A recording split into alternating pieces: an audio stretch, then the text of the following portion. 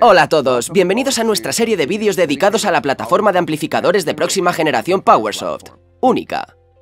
En esta serie exploraremos algunas de las características que distinguen a Única de la competencia. Para obtener una visión completa de Única, asegúrate de ver el vídeo del producto.